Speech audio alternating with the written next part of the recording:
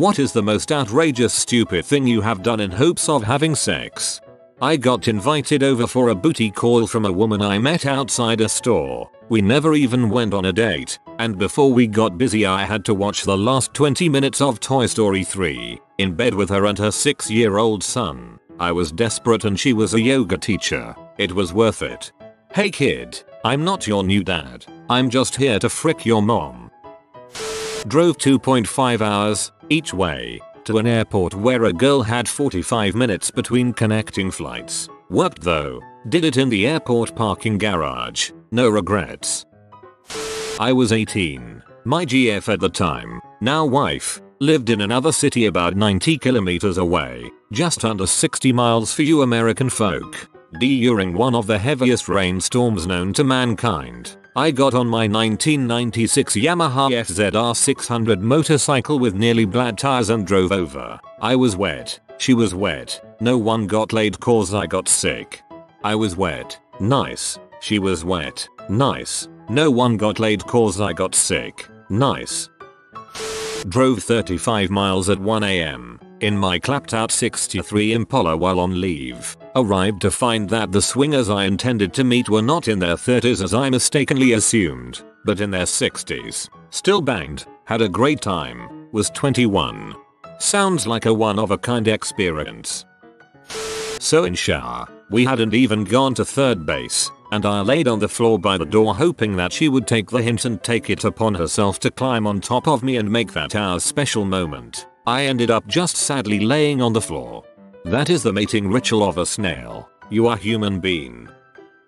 I was dating a girl very briefly when she had to go to St. Louis for work for several months. Since we'd only been dating a month we decided to just do out things that summer and maybe reconnect when she got back to Chicago. Well about month in she asks if I'd like to come visit and spend the weekend. I wanted guaranteed sex, so I said yes. Three days before I'm set to go down there, she calls and says that she has to come to Chicago for a job interview during the time I'm supposed to be there. Since I was living at my mom's place, this was right out of college, we wouldn't have anywhere to go in the city and very little time to do anything. So, I took an 8 hour bus ride to St. Louis, got into town at 6pm, we banged once and went to bed, woke up at 6am, drove 7 hours to Chicago, she did her interview, we drove 7 hours back to St. Louis. She woke up and went to work and I took a 9 hour bus ride back to Chicago. Then she sent me a Facebook message saying we shouldn't see one another anymore.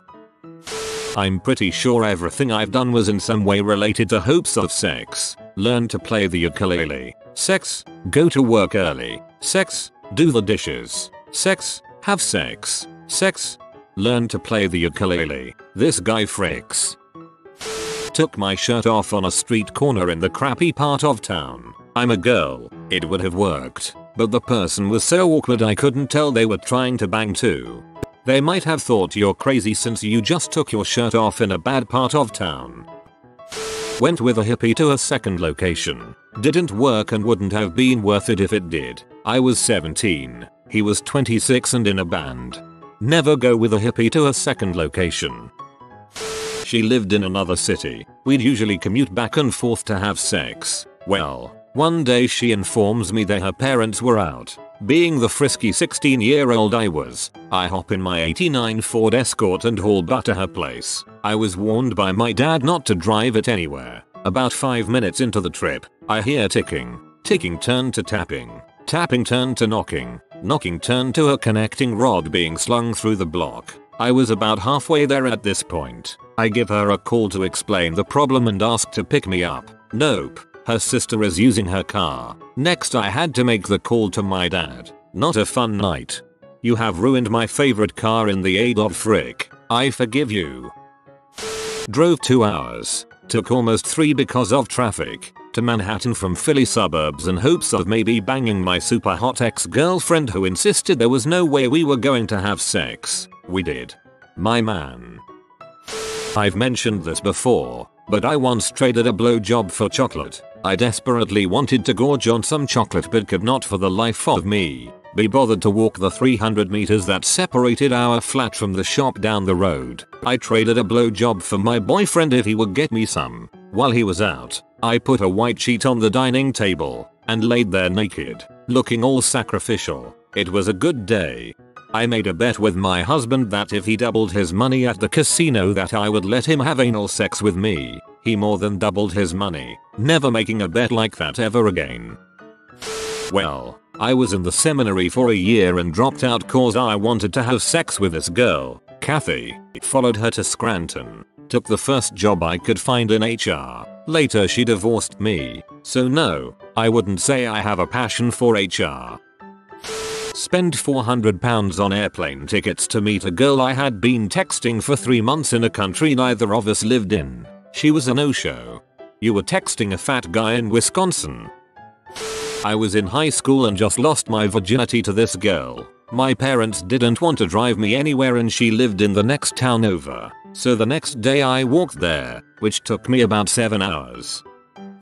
In high school, circa 1999, Started hanging out occasionally with several girls through a mutual friend. Mutual friend and myself played magic and wanted to teach them one time. So I made up decks for three of them to play with. When they went to give them back after, I said no, those are for you to keep. My thinking was we'd hang out more, play more, and they'd appreciate the generous gesture. Never happened again. Threw away a lot of my best cards, dragons, angels, griffins, artifacts, for a futile effort. Pretty much stopped playing after that.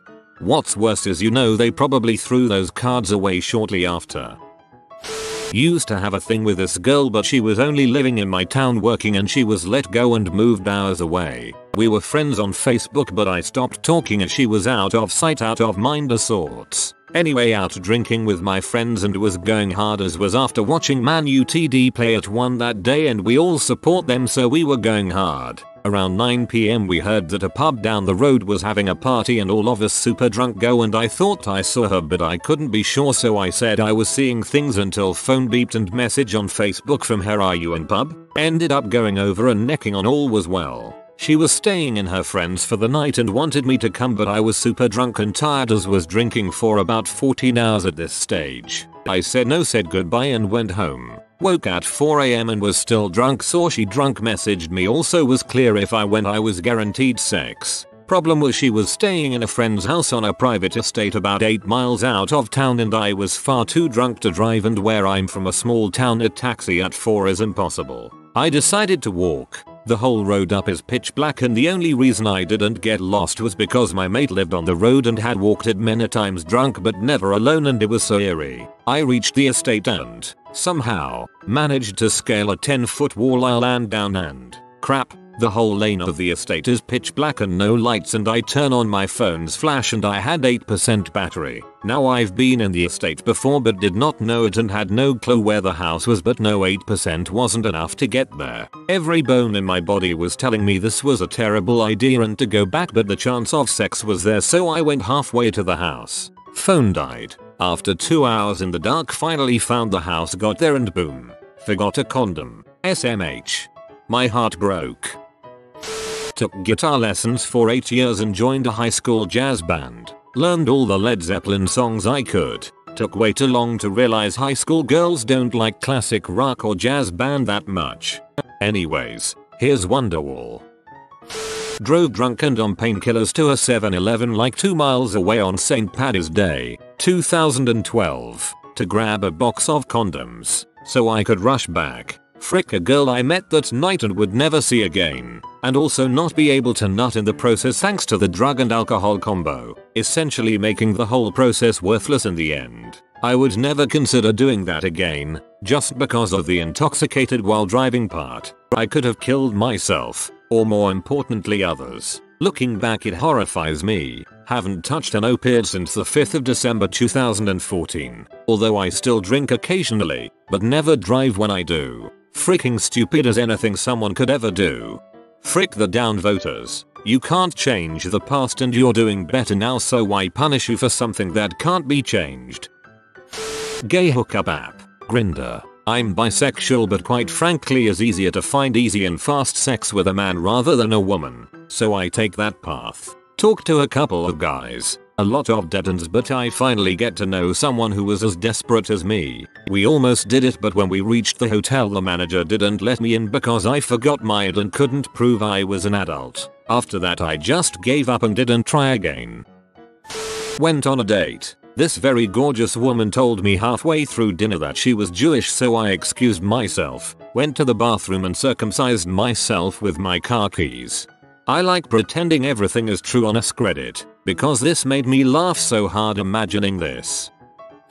Sorry, this is long. A female teacher and I started at our first year teaching the same year. She was married and ended up separating and moving across the country at the end of the year. Didn't know her that well so a year goes by without seeing or talking to her. I end up seeing her at the store when she was visiting her friends and family. We talk and she tells me where she moved and that she liked it and in the process of getting a divorce. How you doing? We begin to email and talk on the phone fairly regularly, and it seems we both enjoy talking to each other. Six months later it's Christmas and she is back in town and we have dinner and a movie. Get a little handsy. We continue to talk on the phone and since I wasn't tied down, I was looking to move somewhere. I made the most sense to check out where she moved to, so I did. Liked it. I liked her so. I liked it. And I got a job at a school, bought a condo, and moved across the country. I told myself and others it was just a change of venue and this was a good place. But let's face it, I moved for her, not for sex so much as a relationship. We continued to talk every day until the move and I visited twice more that school year. My friends and I drove across the country and start getting my place set up. They didn't really know her so we make plans to hang out at night. We go out to some bars and I notice she is acting kind of weird. After an hour or so, she introduces me to a guy she knows. See where this is going. Turns out the guy isn't just a guy she knows but the guy she is seeing. The school I was employed at sucked. It was an at-risk school, but the principal failed to tell me that even after I inquired many times. The housing market also dropped so the condo wasn't worth very much. I ended up staying the year then moving back to my first school. There's more but that's most of it. TLDR. Moved across the country for a girl. She starts dating someone else in a town 2 hours away from my college for a rugby tournament over some random weekend. Get pretty drunk that Saturday night and I get a text from a girl I am not particularly interested in back in my college town. She wants me to come over. And now blackout frisky me calls for taxi. I pass out in the cab and he drives me the 2 hours to her dorm. Cost me almost $300. I get to her room and we make it. Finger bang her since her roommates are there. And go to bed. Next day, ask a buddy to come pick me up. Terrible. Rugby tournaments always end with some disappointing or weird crap happening. Was so frisky, hooked up with the first guy that messaged me on Grindr. Not outrageous but stupid in that we were both too frisky to care about if the other had an STD and was lying about it. All he needed was you. Not too outrageous but pretty tragic. I booked a Premier Inn double room because I thought I had a pretty good chance with a girl who was going on a night out with me and my mates. I wasn't willing to take her back to my single bed at my parents' house. It definitely could have happened but at that point in my life I was too shy to actually make the move at the club. I ended up sharing that room with my buddy so he didn't have to walk home. I told all my friends I had booked the room because my bedroom was being painted. The shame. When I was 17 I used to climb my girlfriend's balcony every night after I would leave because of her curfew at 7pm. We'd then hang out in her room with loud tunes of death metal, trip hop, or indie acoustic and usually would frick. Once her mom walked in and I rolled off the bed so fast I was pretty sure I traveled back in time. Oh, and we're still dating 8 years later. Crashed a funeral at a church by myself for someone I didn't know. Signed the guest book paid respects, etc. Fortunately no one asked me any questions. The girl I was trying to hook up with was hired to sing at the funeral. She thought it was hilarious that I showed up. During the ceremony I texted her a comment about how easy it would be to clean beef from the cathedral floor. It was entertaining watching her try to fight back laughter while sitting behind the priest conducting the funeral. The hookup attempt was successful. You're disgusting heathen. And I love your forehead you beautiful bastard.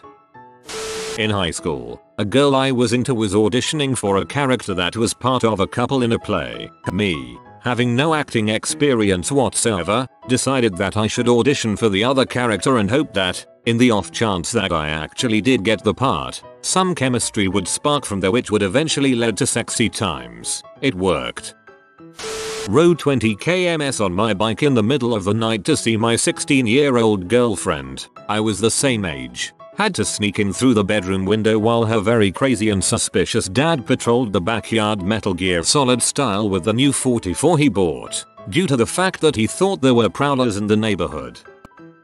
Drove 12 hours, each way, after meeting a girl. She told me to swing by her place next time I was in town. I said oh, I'll be here next weekend too with no prior plans of ever returning to that crap hole. Drove 24 total hours for 3 minutes of glory. I was in Kuta, Bali looking for love, like sailors do. Indonesia, being the largest Muslim nation in the world, frowned upon prostitution. So it wasn't like the pie, Thailand or S. Korea. There were simply no prostitutes. They always say ask the cab drivers. They always know where to find the goods. Six drunken sailors, two cabs, a 2 hour drive into the jungle. Long story short, mercifully we were not kidnapped by rebels. We found ourselves in a jungle clearing at what appeared to be an ancient colonial plantation style mansion. It was like out of a movie. 20ish beautiful women lined up outside. The madam asked us to choose one each. That was the most glorious night of my life, and could have easily been my last. I don't recall where I read it but they still have prostitution in Muslim nations. They just issue temporary marriage license or some crap like that so when you are shagging the chicks you are technically married. Spent one, one stroke two years in a friend zone with this girl. We went out, we went to malls, we went to movies, we went everywhere. I finally could not take it anymore and one night told her that I had feelings for her since day one. She said that she had feeling too for me since day one also, and she thought that she was in my friend zone. We said we both spent the last one, one stroke two years wanting each other, but thought we were both friend zoning each other. Ended up having sex that night and pretty much over the next few weeks. We broke it off a few months later and decided that we were better off as friends. Go figure. Go Learned French. Literally, I spent two goddamn years learning French in the hopes of impressing this one French girl that I knew. I took classes, went to France, did all this bulls, and it didn't even work. But at least now I know French. Not me, since I was dating someone, but my two friends met some drop dead gorgeous southern belles in New Orleans, and they suggested we head to Tuscaloosa the following weekend to see the Bama vs. LSU game and hang out with them. Women, beer, SEC football, we'd be stupid not to go. My buddies and I hop in the car and we proceed to almost die on a Louisiana turnpike. A car in the right lane was going 45 mph right as we were headed over a hill right at them. I swerved so hard my car fishtailed and skidded sideways. I'll never know how we didn't flip. We flew into a thankfully empty ditch with no injuries and a non-damaged car. My buddy joked he had a fear boner. Nervous laughter ensued. We finally get to Tuscaloosa and the place is freaking packed. We can't get a hold of the girls at all so we bum around on the quad which is packed with food and beer. We eat like kings but my friends are miffed that they haven't hear from the girls. Eventually, my friend hears that the girls are in the stands and that they'll meet us afterwards. Well, Bama ends up losing pretty badly, so the girls tell us that they're just going home. What the frick? You had three guys travel all this way so you could flake because your team lost? My buddies were pee. We end up trying to find bars to go to since we needed to salvage the night. One of my friends ends up screwing a girl behind a dumpster. My other friend disappears. And I lose everyone and just stumble back to my car where I sleep. We all reconnected in the morning and decided that as crappy a thing the Bama girls did, at least we got a story out of it. The only part of the story that I don't believe is that Bama lost. Joined the Filipino American Student Organization and became an officer. Two years of commitment. I'm extremely white. Currently married to lady I was pursuing so I jaff talking to my almost girlfriend. This happened a few months ago, but the relationship started way before that. We were basically friends that liked each other's company. Out of the loneliness of the groups that we were used to hang out with, we'd spend time with each other, talked about our views on the world, that kind of stuff. So much so that we started getting close. Too close. We had established that we both like each other but wanted to take it slow and see where things would lead to. Somewhere in the middle of all that, however, her ex-best friend started butting in, and because they had a strong history with each other, she decided that she'd much rather have a relationship with him than me. This meant a 4 month relationship just blew up within a day. She left me for him. I severed all communication. Actually, she severed all communication. She treated me like I meant nothing. A year passes and we had just both graduated and jobs that required us to move in different cities. Far enough to be called different cities, but close enough for us to still travel to one another. Not a week goes by and then I chat her up, get her number, and catch up. After a while I ask if she'd like to see the place I'm staying in. She says she'll be available on the weekend, which was bad timing for me since I had booked a bus ticket back to our hometown, so that's money I ain't getting back. Next problem, we were on different time schedules. She had just gotten off her 9 to 5 while I was just starting my night shift. I convince her that I'll be able to pick her up at a close by mall when she gets close enough. She tells me to book an Uber to my office, and of course, I had to pay. As she arrives to the mall, I spend my lunch hour getting to her to pick her up and let her settle in a cafe right next to my office. I then realize that I had to buy condoms. Had to run a block to buy a box and back while everyone thought I was using the restroom. Last problem, I have a roommate, and we both have the same end hour, meaning that we'd both be heading back home to rest. I desperately talked to my roommate to give me an hour, just an hour, which meant that he had to stay down at the convenience store the whole time. Luckily he agrees, and that's how I spent the end of my first week of work, angry freaking a somewhat X. TL. DR. Girl plus me plus desperation equals some fuck. Late to the party. It was in high school and I was as frisky as anyone at that time. The girl that I was hanging with and messing around with said she was worried about taking someone's virginity. I tried my best to convince her that it wasn't an issue but she wasn't having it. She finally said, if only you weren't a virgin, I'd frick you right now. So after that I went out, found another girl that was cool with doing it just for fun and had sex with her. Finally went back to the first girl and she was excited so we fricked then and there. Took me a good few months to realize that I had sex with someone in order to have sex with another someone. High school can be a wild ride. I live in GA, but went to college in FL for undergrad. I did the whole long distance relationship thing for a little bit with my GF at the time who lived in the same area of my GA home, where I lived with my dad plus fam. At one point in that time span, one of my friends from school that lived in GA told me they were traveling back home for the weekend and that I was welcome to ride. So I decided I'd take this opportunity to go home, see the fam and surprise my GF. When I got to back to GA and wanted to see my GF the night I got there, I knew my dad wouldn't let me drive one of his precious automobiles so I had to devise a plan to get my GF over my house so we could see each other. I came up with a story about my family being out of town and my stepmom noticing her wedding ring had fallen off and she thinks it had fallen somewhere on our driveway. Crappy story I know, but it was the best I had. So I called my GF up in hopes that she'd buy the story and pull up to my house where I would be awaiting her arrival outside.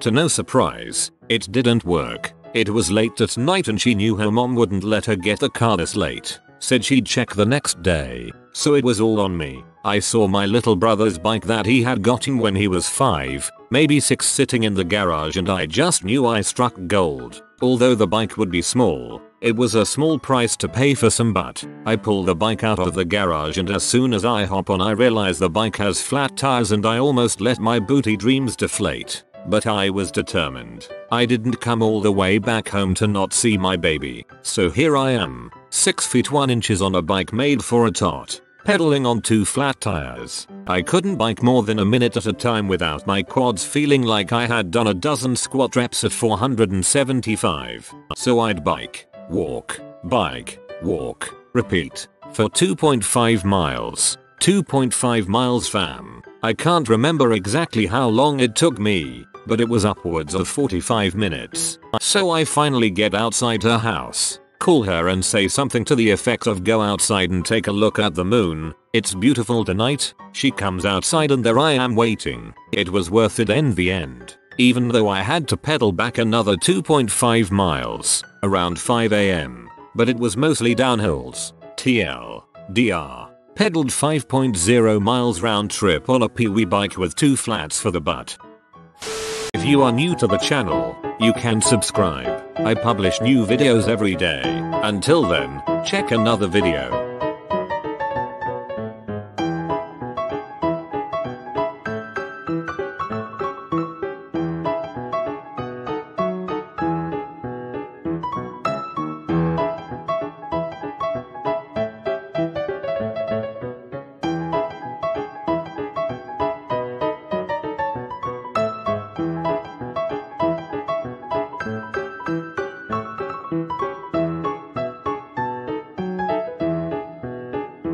Bye for now.